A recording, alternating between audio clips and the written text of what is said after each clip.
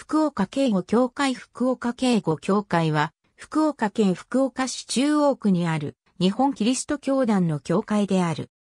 1877年の西南戦争で西郷軍に福岡から降応し、参加した36名の者は政府軍の勝利後に兵庫監獄に投獄させられた。この人たちに伝道したのが神戸キリスト教会員たちであった。最初にキリスト教に入信したのは長瀬半次郎であった。長瀬は極死したが、その死に様を見て、大見は藩作り、安永久志らの数名が信仰を告白し、出国後に、京里福岡で伝道をし教会を建設した。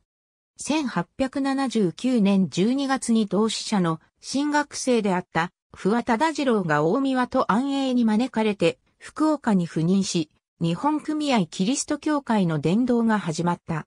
1880年3月、福岡本町に講義所を設けて、大見は行商をしながら、桑を助けた。1885年6月7日、福岡市郷副町に街道を建築して、教会設立式を行った。1886年に、不和が転任すると、教会は危機に陥ったが、1888年の沢村茂雄の着任で安定した。1906年にから巻き替えを始めた中村聖路の時代には大平徳蔵、荒川文禄、今中継丸、佐野勝也らの九州帝国大学らが中心になり、充実した活動を行った。1929年には中村陳が設計した現在の改め堂を建設した。1939年には中村牧師が転任する。